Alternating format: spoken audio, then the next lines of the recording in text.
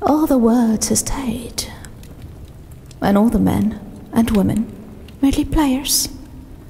They have their exits and their entrances, and one man in his time plays many parts, his acts being seven ages.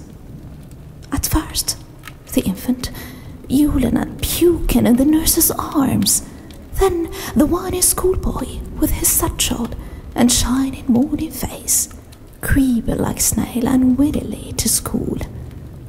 And then the lover, sighing like furnace, with a woeful ballad made to his mistress' eyebrow.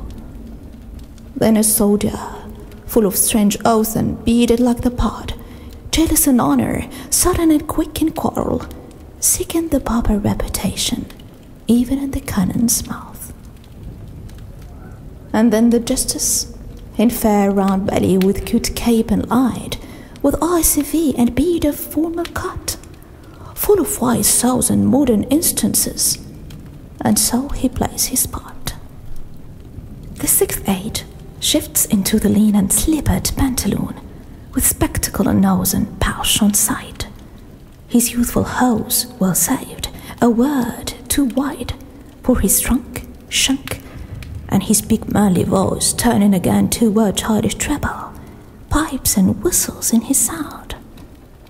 Last scene of all, that ends this eventful history, is second childishness and mere oblivion.